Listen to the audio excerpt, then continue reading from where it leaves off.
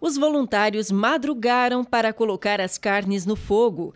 Aqui nas churrasqueiras do pavilhão São Pedro, em torno de 30 pessoas estiveram envolvidas nesse preparo. Para esta edição da churrascada da festa de São Pedro, foram mais de 2.700 quilos de carne. A carne sempre é temperada um dia antes e ontem, durante a noite, foi feita o espeto e separado ela na câmara fria na Casa de Carnes Nova, aqui no pavilhão. O pessoal já chegou hoje, mesmo durante o frio, não, não se abateram e vieram já no frio, hoje, geada, já trabalhar, acender o fogo cedinho.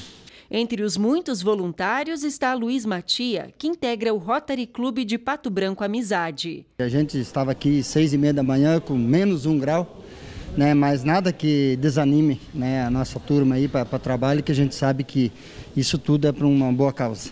Nesta edição da Festa de São Pedro foram comercializados 720 kits. Na cozinha, mais voluntários dedicados às preparações dos complementos do kit: maionese, farofa, mandioca e cuca. Equipe que chegou aqui às 3 horas da manhã. Tivemos o apoio de muitos voluntários. E, de fato, seja na venda, seja no preparo, somos só conseguimos porque somos realmente uma igreja unida. E o meu muito, muito, muito obrigada para todas essas pessoas que dedicaram, doaram o seu tempo com amor, com carinho. Este ano, diferente dos anteriores, por conta da pandemia, a entrega dos kits foi feita em formato drive-thru. Então, ao longo da rua Goianazes, vários grupos fizeram a entrega dos kits diretamente nos carros. No dia do padroeiro de Pato Branco, a festa contou com a programação religiosa. Uma missa foi celebrada na Igreja Matriz São Pedro Apóstolo. Momentos de fé e de agradecimento. Neste ano estamos comemorando 90 anos da festa de São Pedro. É uma festa que realmente marca a identidade religiosa e a identidade cultural da nossa cidade.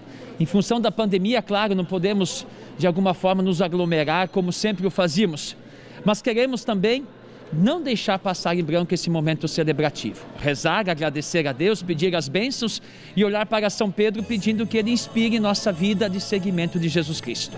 Logo após a missa, foi realizada a tradicional carreata, que passou pelas ruas do centro da cidade.